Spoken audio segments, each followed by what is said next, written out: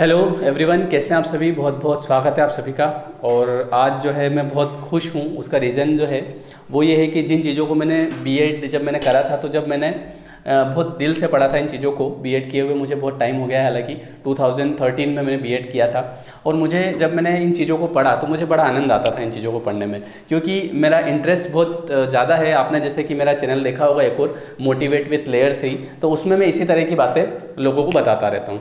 तो आज मैंने ये चीज़ देखी, आपका जब मैं सिलेबस देख रहा था तो मैंने देखा यार ये तो चैप्टर बहुत ज़ोरदार है यार, ये तो अपने पढ़ाने का है बिल्कुल। तो इसलिए मैंने आज सोचा कि आपको ये चैप्टर पढ़ाया जाए। और चैप्टर में ये है बाल विकास, और बाल विकास में आपका एक चैप्टर है पर्सनैलिटी बाकी तो आपको सोनाली मैम डेली बेसिस पे पढ़ा ही रहे हैं बाल विकास, पर्यावरण। अभी एक दो दिन से आपकी क्लासेस नहीं आ रही है, क्योंकि थोड़ा से सभी टीचर लोग व्यस्त हैं।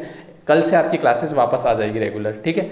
और आपको पता है, मैम आपको बाल विकास रेगुलर बेसिस पे पढ़ा रहे हैं। पुराने वीडियोस आप देख सकते हैं। यूट्यूब पे सारे मिलेंगे आपको, है ना? पर्यावरण भी वो रेगुलर बेसिस पे पढ़ा रहे हैं। तो आज मैं आपको पढ़ाऊँगा पर्सनैलिटी तो ये चीज़ किताबी चीज़ नहीं है। ये चीज़ जो है बड़ी इंटरेस्टिंग चीज़ है, मैं आज आपको बताऊँगा इसके बारे में। देखिए पर्सनैलिटी क्या होती है? किसी के गठीले बदन को देख के हम उसकी पर्सनैलिटी का अनुमान लगाते हैं। किसी का बिल्कुल गोल मटोल चेहरा होता है तो हम बोलते हैं कि यार इसकी पर्सनैलिटी बहुत ज़ोरदार है। किसी का आपने देखा होगा कि किसी का रहने का तरीका एक अलग ही होता है जैसे कि कपड़े पहनने का तरीका होता है है ना? चलने का तरीका होता है बोलने का तरीका होता है जैसे कि आपने आपने देखा होगा कि बहुत सारी बार हम किसी को पसंद करने लगते हैं तो हम किसी को क्यों पसंद करते हैं? क्योंकि उसका जो व्यक्तित्व होता है वो हमें बड़ा आकर्षक लगता है। बहुत सारी बार ऐसा होता है कि आपने देखा होगा कि किसी आ, किसी के साथ में मान लो कोई जोड़ा है शादीशुदा तो हम बहुत सारी बार बोलते हैं यार इसने इसमें क्या देखा यार? जैसे कि हम लोग क्या देखते हैं? हम देखते हैं कि यार ये लड़का इतना काला है लड़की इतनी गोरी चिट्टी है मतलब इस छोरी ने इसमें देखा क्या है? है ना? लेकिन ये उसने, आपने तो केवल क्या देखा? बस उसका चेहरा। लेकिन उसकी पर्सनैलिटी जो है, ये वो अच्छी तरीके से जानती है कि वो किस टाइप का लड़का है, उसके भाव कैसे हैं, उसके विचार कैसे हैं, है ना? तो वो चीज़ भी किसके अंदर आती है? वो भी एक व्यक्तित्व के अंदर आती है। है ना? कोई आदमी किस तरीके से सोचता है? किसी के बोलने का वे ऑफ़ टॉकिंग जिसको बोलते हैं हम, कि वे ऑफ़ टॉकिंग क्या है? है ना? उसके चलने का तरीका, उसके हाव भाव सारी चीज़ें जो होती है, ये क्या होती है? पर्सनैलिटी होती है। और अगर हम किताबी चीज़ की बात करें तो पर्सनैलिटी जो है, इसका उद्भव हुआ है लेटिन भाषा के परसोना शब्द से। ठीक है? परसोना का मतलब क्या होता है? परसोना का मतलब ये होता है कि जैसे जो नाटक मंच पे ये जो लोग दूसरे व्यक्ति के कपड़े पहन के उसकी कलाकारी करते हैं, है ना? दूसरे व्यक्ति के, जैसे क्या होता है ना, अपन रामायण देखने जाते हैं। तो रामायण में जो राम का जो रोल करता है तो वो असली राम नहीं होता है, लेकिन वो राम जी के कपड़े पहन के, और ये बताने की कोशिश करता है कि देखिए उनका व्यक्तित्व कैसा था। तो ये लेटिन भाषा में परसोना का मतलब होता है, ठीक है? मतलब कि किसी दूसरे व्यक्ति का दूसरे व्यक्ति के कपड़ों को धारण करके और उसका आपको क्या नाटक करके बताना है कि वो व्यक्ति का मतलब उसकी पर्सनैलिटी किस टाइप की थी, उसका व्यक्तित्व कैसा था, ठीक है? तो ये चैप्टर कम से कम मैं चार वीडियो में ख़त्म करूँगा तीन से चार क्योंकि ये बहुत बड़ा है और इसमें समझाने जैसी बहुत सारी चीज़ें हैं। तो आप आ, सारे वीडियोस स्टेप बाय स्टेप देखते रहिएगा ये पहला वीडियो है ठीक है? जो लोग नए हैं वो चैनल को सब्सक्राइब करें ताकि आपको सारी चीज़ें स्टेप बाय स्टेप मिलती जाएगी अब देखिए आपके एग्ज़ाम में बहुत सारी डेफिनेशंस आती है तो हम लोग क्या करेंगे? डेफिनेशंस भी पढ़ते जाएँगे इसकी ठीक है? अब देखिए सबसे पहले मार्टन प्रिंस ने इसके बारे में क्या कहा है है ना? तो इसको आप इस तरीके से याद रखिए। तो अब देखो, मार्टिन प्रिंस ने क्या कहा है? व्यक्तित्व, व्यक्ति की सभी प्रकार की जन्मजात प्रवृत्तियाँ। अब देखिए, जन्मजात प्रवृत्ति क्या होती है? बहुत सारी बार हम बोलते ना कि अरे, ये तो जन्म से ही ऐसा है। तो या तो क्या होता है कि उसमें वंशानुगत वंशानुगत मतलब कि जैसे उसके दादाजी को बहुत गुस्सा आता था तो उसके पिताजी को भी गुस्सा आता था और उसको भी गुस्सा आता है। तो जब मान लो बहुत सारी बार ऐसा होता है कि यार ये लड़का बहुत गुस्सा करता है तो क्या ये इसकी समस्या नहीं है, ये तो इसके पिताजी भी ऐसे ही करते थे न इसके दादाजी भी ऐसे ही करते थे। तो वो जन्मजात होती है एक तरह से। इसके अलावा जन्मजात प्रवृत्तियाँ आवेग। बहुत सारी बार क्या होता है कि हम आवेग में रहते हैं, हमको कभी अचानक से गुस्सा आ जाता है, हम रोकने की कोशिश करते हैं, लेकिन वो नहीं रुकता है। तो ये ऐसा बहुत सारे लोगों में पाया जाता है और ये ही उनका व्यक्तित्व होता है। व्यक्तित्व का मतलब होता है कि जैसे आप हैं, वो आपका व्यक्तित्व है। है ना? जैसे बहुत सारी बार क्या होता है कि मुझे आ, मेरे सामने कोई आ, कोई दूसरा आदमी मेरी बुराई करता है और किसी तीसरे ने आके मेरे को कह दिया कि वो ऐसा बोल रहा था। तो मैं ये मानता हूँ कि ये जो संसार है इसमें देखो दोनों पहलू काम करेंगे। अगर गुण है तो अवगुण भी है। अगर आप ये मान के चलो कि नहीं सब मेरी अच्छाई ही करे कोई मेरी बुराई नहीं करे तो ऐसा नहीं हो सकता। तो ये मेरी सोच है मतलब ये मेरा व्यक्तित्व है। है ना? मैं ये नहीं बोलता हूँ कि नहीं, वो इंसान खराब है, वो क्या समझता है ना? मेरे को तो बहुत कुछ आता है ना? नहीं, मैं ये मान के चलता हूँ कि वो एक इंसान है और ये उसका व्यक्तित्व है। देखिए, अगर आपने इन चीज़ों को रियल में पढ़ा है, आपने केवल, अगर केवल बीएड किया है और एग्ज़ाम में पास हुए हैं है ना? तो उस चीज़ का कोई मतलब नहीं है। लेकिन अगर आपने इन चीज़ों को दिल से पढ़ा है, बहुत सारी चीज़ें ऐसी होती है जो दिल से पढ़ी जाती है और बहुत सारी चीज़ें ऐसी होती है जो किताबों में पढ़ी जाती है है ना? तो अगर आपने इस चीज़ को दिल से पढ़ा है तो आप इस चीज़ को बहुत बेहतरीन तरीके से समझ पाएँगे कि वो क्या कहना चाह रहा है। तो अपना व्यक्तित्व जो है, ये देखिए आप बताएँगे इसमें कि व्यक्तित्व, आप क्या, बहुत सारी बार अब एग्ज़ाम एग्ज़ाम में क्वेश्चन ऐसा आ जाए कि क्या किसी व्यक्तित्व, किसी व्यक्ति का व्यक्तित्व चेंज हो सकता है? आप बताइए, क्या मान लो मेरा जो व्यक्तित्व है, क्या ये चेंज हो सकता है? ये बिल्कुल चेंज हो सकता है। ये समय के अकॉर्डिंग चेंज हो सकता है। तो देखिए, इच्छाओं, इसके अलावा उसकी जो इच्छाएँ होती है, वो उसका व्यक्तित्व है है ना? इसके अलावा मूल प्रवृत्तियाँ, जो उसकी मूल प्रवृत्तियाँ होती है मतलब कि वो, उसकी कुछ आदतें होती है, और अनुभवों के द्वारा अर्जित बातों का योग है। मतलब कि मार्टिन प्रिंस ने क्या कहा है कि व्यक्तित्व का मतलब उसकी जन्मजात प्रवृत्ति प्लस आवेग, जो उसके अंदर आवेग आते हैं, प्लस उसकी जो मूल प्रवृत्तियाँ, उसकी जो इच्छाएँ और उसके जो अनुभव है, उन सब चीज़ों को क्या बोलते हैं? उनको बोलते हैं उसका व्यक्तित्व, ठीक है? तो व्यक्तित्व का मतलब देखिए, व्यक्तित्व जो होता है, ये यूनिक है और स्पेसिफिक है मतलब अपूर्व है और विशिष्ट है। मतलब कि अगर मान लो कोई जुड़वा बच्चे दो पैदा हुए हैं तो ऐसा नहीं है कि वो दोनों एक जैसी जैसे कि वो एक पिक्चर देखी होगी ना, आपने जुड़वा पिक्चर देखी होगी, उसमें क्या होता है?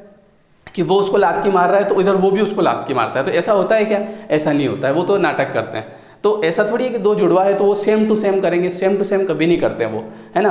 तो वो वाली बात है। ये तो चलो वो हम मूवी में हमको सामने दिखाते हैं कि इसने उधर से गुस्सा मारा और उसने भी उधर से मार दिया। देखिए, एक काम करो, उनको दूसरे कमरे में बंद करो, फिर गुस्सा मारो। ऐसा होता है, ऐसा नहीं होता, वो तो एक मूवी है। बट व्यक्तित्व जो होता है, वो स्पेसिफिक होता है और यूनिक होता है। मतलब कि अगर दो जुड़वा भी है तो वो एक जैसी एक्टिविटी कभी नहीं करते हैं। वो विशिष्ट होता है। मतलब खुद से सेल्फ कॉन्शियसनेस आत्मचेतना। व्यक्ति एक तरह से क्या है, जब देखो, जब आदमी सेल्फ कॉन्शियसनेस में चला जाता है ना, आत्मचेतना, जब उसको अनुभव हो जाता है कि मैं वाई आई एम हियर मैं यहाँ पर क्यों हूँ? है ना?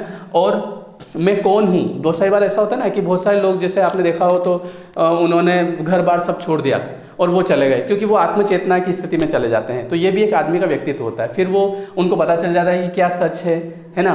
मतलब ये दुनियादारी क्या है? अपने को किसी से कोई मतलब नहीं रखना है है ना? वो चीज़ है तो वो आत्मचेतना सेल्फ कॉन्शियसनेस कॉन्शियस आप समझते हैं? समझ कॉन्शियस है ना? जैसे कि दो तरह के माइंड होते हैं हमारे, एक कॉन्शियस माइंड होता है, एक सबकॉन्शियस माइंड होता है। ये भी आपके एग्ज़ाम में आता है इसी में।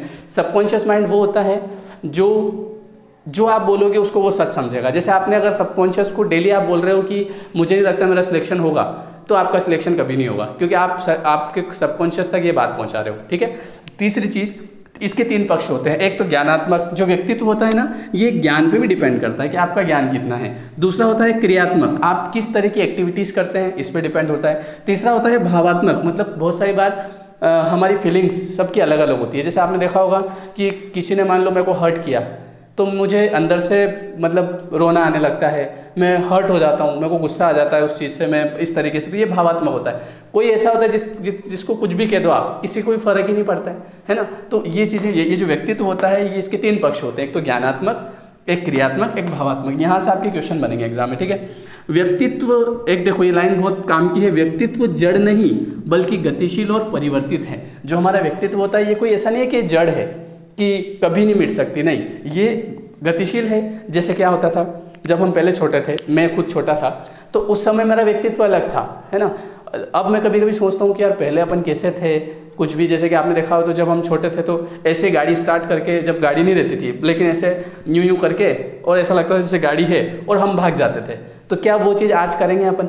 क्या आज ऐसा होगा कि आप घर से बाहर निकले और मैंने गाड़ी स्टार्ट करी और बैग टांगा और भाग गया? मेरे को सब लोग देखेंगे यार ये क्या कर रहा है? लेकिन मेरी जगह अगर छोटा बच्चा होगा तो उसको के ऊपर कोई ध्यान ही नहीं देगा। क्यों? क्योंकि वो उसका व्यक्तित्व है वो छोटा बच्चा है अभी। समझ रहे हो ना? ऐसे। जैसे बहुत सारी बार हम रेत के ऊपर खेलते थे जब बचपन में थे है ना? कूदते थे कोई ध्यान नहीं देता था हमारे ऊपर। लेकिन आज कूदो। लोग बोलते हैं पागल हो गया कि क्या बात है? तो व्यक्तित्व तो गतिशील है और परिवर्तित है। परिवर्तित होता जाता है।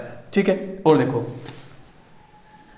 हम्म, हाँ एक और चीज़, व्यक्तित्व जो है वो वंशानुगत है, जैसा कि मैंने अभी आपको बताया था, और प्लस वातावरण, इन दोनों चीज़ों का मिश्रण होता है। एक तो देखो, कुछ चीज़ें ऐसी होती है, जो, जैसे ये जो हमारा गुस्सा होता है, हमारा प्रेम होता है, ये सब चीज़ें ये बचपन से रहती है। जैसे हम लोग देखते हैं ना कि मुझे तो वो लड़का बहुत पसंद है या वो लड़की बहुत पसंद है। क्यों पसंद है? क्योंकि उसके अंदर ये व्यक्तित्व है। ये पर्सनैलिटी है उसकी। मतलब उसे किसी चीज़ का बुरा नहीं लगता है या वो सबके बारे में अच्छा सोचता है। तो ये चीज़ है ना, ये जन्मजात होती है।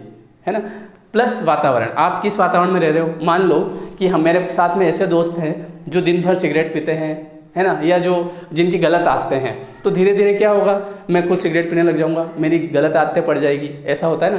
तो वो वाली बात है। तो वंशानुगत भी होती है, प्लस वातावरण के अनुकूल होती है। अधिगम प्लस अनुभव। अधिगम।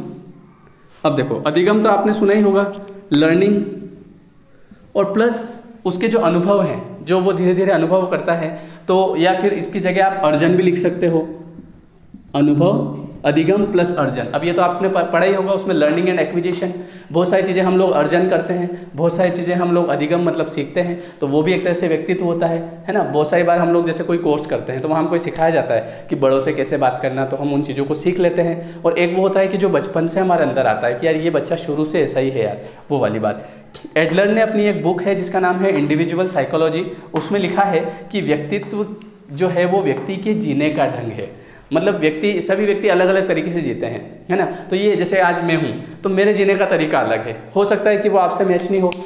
हमारी शादियाँ होती है तो गुण क्यों मिलाते हैं घर वाले?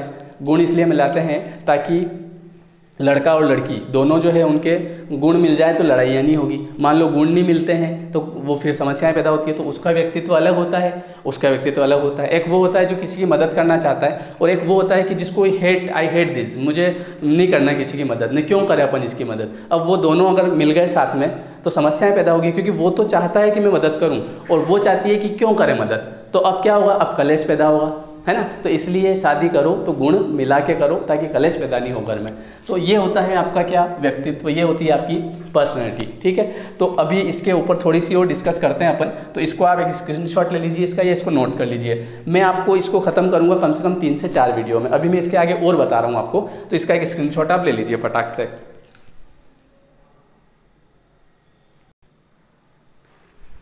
चलिए, अब मैं आपको कुछ और चीज़ें बता देता हूँ। देखो सिगमन फ्राइड इन्होंने व्यक्तित्व को क्या बोला है? इन्होंने बोला है कि ये बना है अचेतन से इड ईगो और सुपर ईगो से। तो ये क्वेश्चन आपके एग्ज़ाम में आ सकता है कि इसमें क्या क्या चीज़ें होती है। देखो, एक तो आईडी इड का मतलब होता है अचेतन अचेतन मन, जिसमें इच्छाएँ होती है बहुत सारी। है ना? बस वो अंदर ही अंदर कहीं ना कहीं जैसे कि वो आप, मैंने बोला था ना सबकॉन्शियस एक तरह से, है ना? तो ये एक ईड मतलब अचेतन जिसमें इच्छाएँ होती है ईगो जिसमें चेतना होती है, बुद्धि होती है मतलब ये एक रियल स्थिति होती है आदमी की, अहम ईगो जो उसमें ईगो आ जाता है मतलब है ना? सुपर ईगो इसमें इसको बोलते हैं अंतर चेतना, ठीक है? जिसमें नैतिक मन और आदर्श होते हैं, जिसको बोलते हैं सुपर ईगो तो ये तीन चीज़ों से एक व्यक्तित्व बनता है, ये कहा है सिगमंड फ्रायड ने, ठीक है? आलपोर्ट ने क्या कहा है? इन्होंने कहा है कि जो व्यक्तित्व होता है, वो एक तरह से वातावरण से निर्मित होता है। तो ये जो परिभाषा है, ये आपके एग्ज़ाम में पूछी जा सकती है। तो आलपोर्ट ने कहा है कि जो व्यक्तित्व होता है, वो वातावरण से निर्मित होता है। मतलब जैसा वातावरण मिलेगा उसको। जैसे आपने देखा होगा कि बहुत सारे जो लोग होते हैं, ये ऋषि मुनि जैसी बातें करते हैं। मतलब तो वो इसलिए करते हैं क्योंकि उनका वातावरण ऐसा है। आपने देखा होगा, कोई लोग दिन भर गाली गलोच करते हैं, है ना? बस उनको कहीं पे कुछ अच्छा नहीं दिखता है। तो इसमें आपको, जैसे बहुत सारी बार ऐसा होता है कि लोग आपको हर्ट करने की कोशिश करते हैं, है ना? जैसे कि हम लोग वीडियो बनाते हैं। तो लोग ये नहीं देखते कि यार ये जो लोग हैं, कम से कम इतना समय निकाल के हमारे लिए वीडियो बना रहे हैं। अगर हम, मेरे को किसी से एक लाइन भी सीखने को मिली है तो वो मेरा गुरु हो गया। लेकिन उसके बावजूद भी लोग जो हैं कमेंट में जैसे आपने देखा होगा, बहुत सारे, मेरी मेरी जिस बात नहीं कर रहा हूँ, दूसरे भी लोगों के जो वीडियोज़ होते हैं, वहाँ पर कुछ भी लिख देते हैं कि ये ऐसा है, ये फालतू की बकवास कर रहा है, ये वैसा है, ऐसा।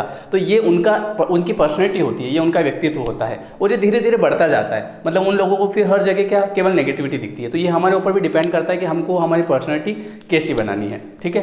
क्योंकि आप जो बोलते हैं, उसका प्रभाव सामने वाले के ऊपर कभी नहीं पड़ेगा। उसका प्रभाव आपके ऊपर ही पड़ेगा कहीं ना कहीं। तो वो वाली बात है। तो आलपोर्ट ने ऐसा कहा है, मैंने नहीं कहा है। शेल्डन शेल्डन ने इसको बोला है रचना का सिद्धांत। तो अगर आपसे एग्ज़ाम में पूछ ले कि इसको रचना का सिद्धांत किसने कहा है तो आपको बोलना है शेल्डन ने।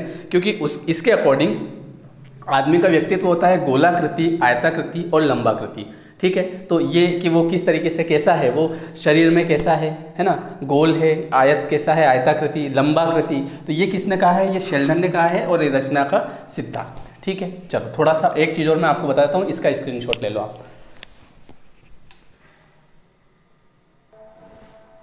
चलिए, अब हम एक और बहुत इंपॉर्टेंट चीज़ पढ़ लेते हैं क्योंकि यहाँ से आपके डेफिनेटली क्वेश्चंस बनेंगे, ठीक है? व्यक्तित्व के सिद्धांत किस किस ने दिए थे? देखिए, सभी व्यक्ति अपने अपने हिसाब से सिद्धांत देते हैं तो हम लोग इनको याद रख लेंगे। कैसे याद रखेंगे? कि मनोविश्लेषणात्मक सिद्धांत जो था, ये दिया था किसने? फ्रायड ने, ठीक है? मनोविश्लेषणा, विश्लेषण सिद्धांत दिया था किसने? फ्रायड ने। आत्मज्ञान का सिद्धांत। किसने बोला था कि ये एक तरह से ये आत्मज्ञान है? व्यक्तित्व जो है वो एक आत्मज्ञान है। तो ये कहा था हर्जबर्ग मास्लो ने, ठीक है? इसके अलावा रचना का सिद्धांत तो ये मैंने अभी बताया था आपको शेल्डन ने, ठीक है? रचना का सिद्धांत किसने दिया था? शेल्डन ने। आल्पोर्ट का सिद्धांत किसने दिया था? ये आल्पोर्ट ने ही दिया था। और जीव सिद्धांत किसने दिया था?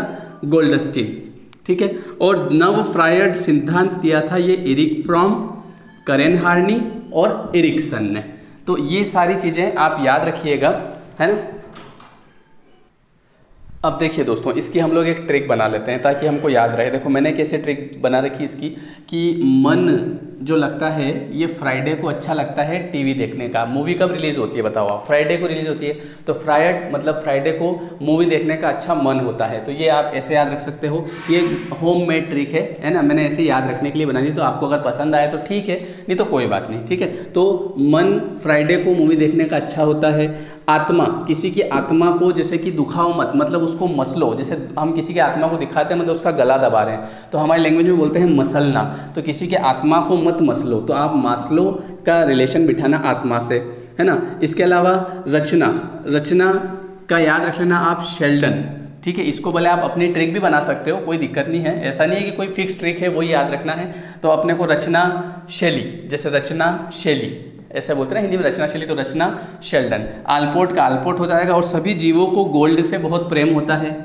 तो और बचा नव फ्रायड। तो नव फ्रायड जो है वो तीन इरिक फ्रॉम करेन हार्नी और एरिक्सन। ठीक है? तो ये तीनों आप याद रख लेना। है ना? ई क ई। ऐसे। अब जैसे गोल्ड गोल्ड का रिलेशन जीव से बैठ गया।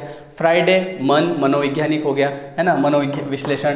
और आत्मा को मत मसलो तो आत्मा का मसलो हो गया। और रचना शैली रचना शैली हो गया। ये फटाक से हमको याद हो गए। ठीक है? चलो, ये वीडियो आपको कैसा लगा मुझे कमेंट करके ज़रूर बताइए। और ये अभी इसका फ़र्स्ट वीडियो है और ये जो व्यक्तित्व जो चैप्टर है आपका, इसके कम से कम मुझे लगता है पाँच वीडियो बनेंगे, ठीक है? तो अगर आप वो वीडियोज़ रेगुलर बेसिस पे देखना चाहते हैं तो मुझे कमेंट ज़रूर करें, क्योंकि जब आप लोग कमेंट करते हैं तो हमारा हौसला बढ़ता है और हम लोग आपके लिए और अच्छा अच्छा मटेरियल निकाल के लाते हैं। देखिए, तैयारी आप भी कर रहे हैं अपने लेवल से, लेकिन मान लो कि इस बीस मिनट के वीडियो से जैसे कि हमारे चैनल पर आप पाँच लोग पढ़ा रहे हैं और उनसे आपको वो लोग भी सर्च करते हैं है ना? मैंने भी जैसे कि इन चीज़ों को देखा, मैंने बहुत टाइम पहले पढ़ा था तो लेकिन मुझे इंटरेस्ट बहुत ज़्यादा इन चीज़ों में। तो आज मैंने इन चीज़ों को, मैंने सोचा कि आप लोगों को बताया जाए। तो अगर आपको यहाँ से एकाध सेंट एकाध क्वेश्चन भी याद हो गया, और वो आपका अगर एग्ज़ाम में आ गया तो वो आपको नंबर दिला देगा। क्योंकि एक बात हमेशा याद रखना, हम लोग डेढ़ सौ में से डेढ़ सौ की तैयारी नहीं कर रहे हैं। हर हर इंसान, कोई नीवी पढ़ के जाएगा, वही साठ नंबर तो ले आएगा। हमको यहाँ पर है ना क्या करना है? कंपटीशन करना है। मतलब जितने ज़्यादा आप ला सकते हो, लाओ। ऐसा कभी मत सोचना कि डेढ़ सौ में से मुझे नब्बे लाने हैं। नहीं, डेढ़ सौ में से मुझे डेढ़ सौ लाने हैं तो मेरी सीट पक्की होगी, ठीक है? तो हम तैयारी वैसी करेंगे, ठीक है? धन्यवाद। वीडियो अच्छा लगा हो तो शेयर करें।